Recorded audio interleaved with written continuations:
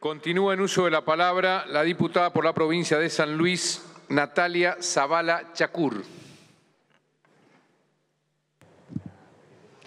Gracias, señor presidente.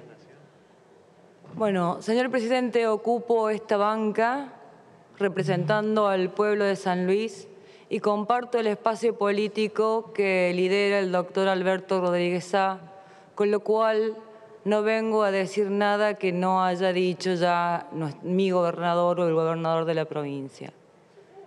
Estamos eh, convencidos que el acuerdo stand-by adquirido o firmado por el presidente Macri en el 2018 no, no cumplía con lo que establece la Constitución Nacional. No cumple con lo que establece en su artículo cuarto ni en su artículo 75, inciso 4 e inciso 7, tornándolo de esta manera en ilegítimo.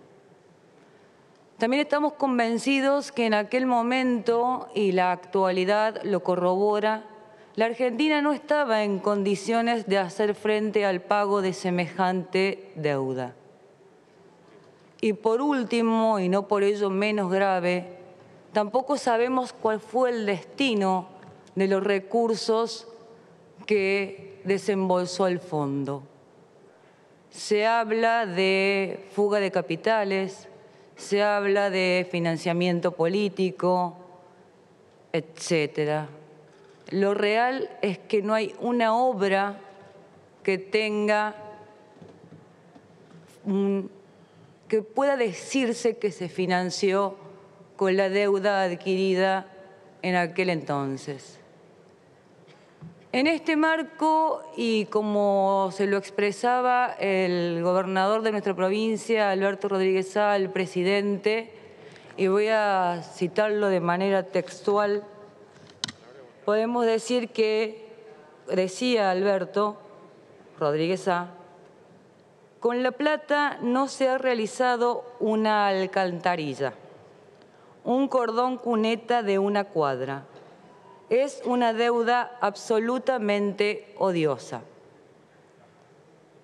Todos sabemos que cuando la deuda se toma y esta deuda o estos recursos no benefician al pueblo, la misma se transforma en una deuda odiosa.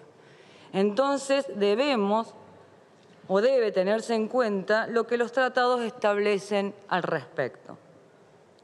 Bastante difícil fue transitar la época de Macri presidente. Me tocó ser ministra de Economía de la provincia. Creo que, que el país entero sufrió muchísimo esa etapa. Los gobernadores fueron citados a hablar de consensos y pactos fiscales, fueron citados en diversas oportunidades para ver cómo hacían las distribuciones de algunos aportes casi totalmente discrecionales, pero nunca fueron citados para hablar si correspondía ir al fondo o no. Esto no sucedió. El federalismo no estuvo presente. No estuvo presente el federalismo con la representación de los gobernadores, ni estuvo presente el federalismo con el Congreso expidiéndose al respecto. Creo necesario que esto se investigue. Pido por Dios que esto se investigue. Y lo hago pensando que esto es una necesidad, principalmente procurando la tranquilidad del pueblo, pero también dándole la transparencia que el gobierno merece o que quienes ejercen el poder merecen. Para cerrar, y he escuchado en este recinto varias veces hablar de gastos superfluos, que obviamente comparto 100% que hay que eliminarlos y este es en parte lo que el modelo San Luis tiene, puesto que el modelo San Luis, ustedes saben que no tenía deuda, al contrario la nación le debía a la provincia y Macri tampoco le pagó en su momento. Sin embargo, lo que más me llamó la atención que el que lo trajo a este recinto fue un ex eh, gobernador de la provincia, el diputado actual. Y yo les quiero contar que él dejó la provincia endeudada, que nosotros recibimos San Luis en el 2015 con un déficit presupuestario y un déficit financiero.